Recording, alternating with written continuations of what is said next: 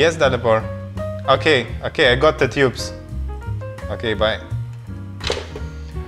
Hello guys, in this episode I'm gonna unbox the biggest available Nixie tubes on the market. The tubes that are produced by Dalibor Farny in Czech Republic. So let's go.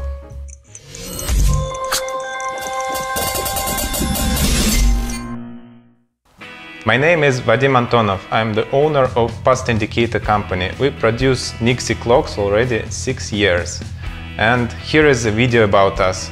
Our company is placed in Moscow, Russia, but half of our clients are English speaking and from different countries all around the world.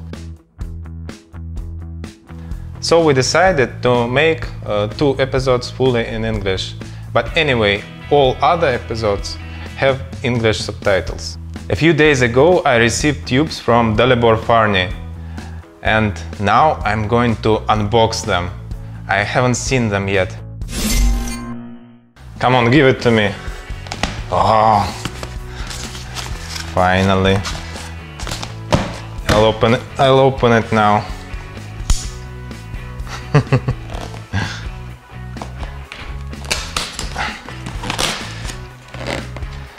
Can't wait to see these tubes.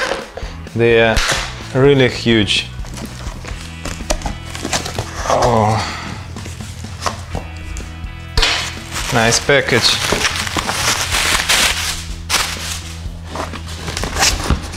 Check it out. It's packed in some kind of vacuum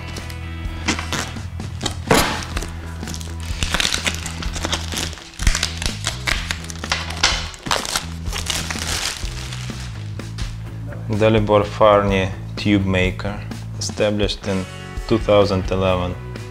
These tubes are similar to same tubes that were produced in Czech Republic uh, in uh, 70s, 80s, some kind of uh, reproduction of this tube.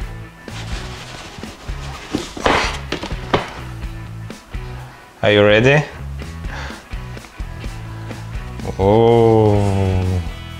It's really the biggest tubes uh, available now. Let's take it out. It's big. See the logo of Dalibor Farny and each tube has uh, a number. This one is 5650. They are really beautiful.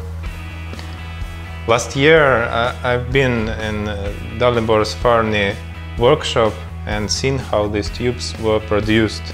And in the next episode I'll definitely show you everything and uh, a small interview with him. Okay, let's light this tube. Three, seven, five, nine, eight, one, four, two, zero, six. And I've got uh, the Soviet, the biggest Soviet tube with me. It's uh, IN 18. Check how small it is comparing to Dalibor's uh, tube. I've received three more tubes and uh, total I have now uh, nine tubes of this kind. And soon we are going to start a new project with these tubes. Uh, and what it will be try to guess. Write down in comments what do you think. And here is a hint for you. It won't be an Nixie clock and it will be connected with YouTube. This episode was fully in English and this was our first English episode. If you liked it please write it in comments so we can continue making uh, episodes in English. In our next episode, uh, I will show you my trip to Dalibor Farny to his workshop and interview with him. See you, see you in the next episode.